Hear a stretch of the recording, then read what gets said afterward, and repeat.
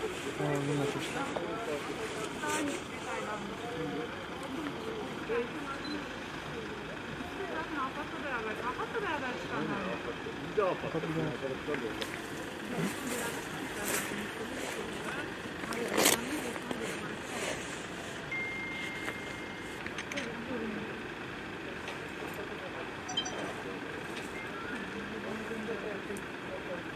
indiniz değil mi? 112'yi de arayalım da. Arıyor mu? Sırayım mı? Ha, Siz buraya getirin burada şeyde. Tamam. Sirenleri duyuyor musunuz? Tamam ha oraya o bölgeye gel. Tamam. Hadi Selim e, görüşürüz bakalım.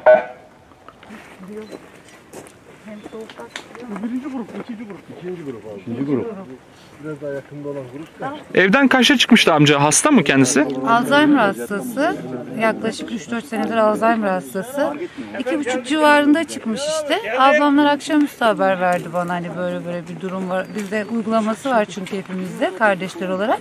Hani uygulamadan bakıp buluyoruz onu kaybolduğu zaman evden çıkıp gittiği zaman. Şarj az olduğu zaman girmiyoruz ki hani bulabilmemiz kolay olsun. Şarjı biterse bulamayız diye. Ondan dolayı hani girmediğimiz için uygulamaya haberimiz yoktu. Ablam haber verince biz de eşimle beraber çıkıp geldik. Nereden veriyordu sinyal?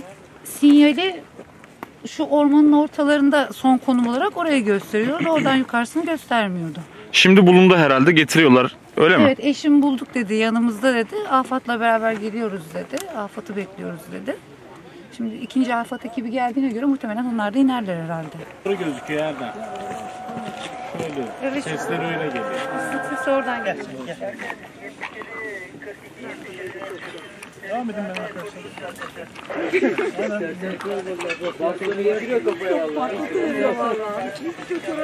Ay maşallah öyle gezmiş ki.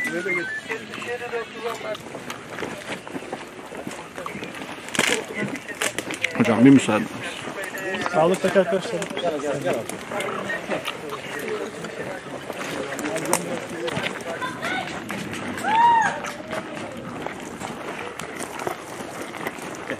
Gel amca gel. Heh. Tamam geliyordum. Geçmiş olsun bakalım. Geçmiş olsun. Geçmiş olsun.